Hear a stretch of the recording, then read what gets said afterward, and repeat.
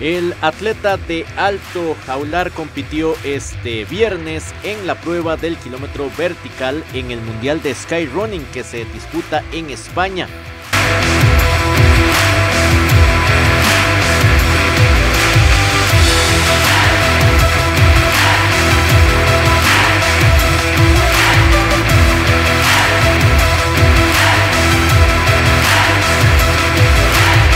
Steven Hernández terminó el reto en el puesto 13 y se convirtió en el mejor atleta latinoamericano de la competencia. El tiempo del generaleño fue de 44 minutos con 28 segundos.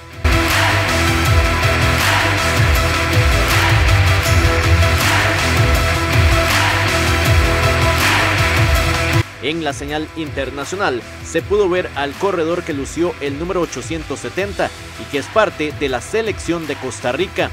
Steven volverá a correr el próximo domingo 8 de septiembre en la prueba de skyrunning de 37 kilómetros.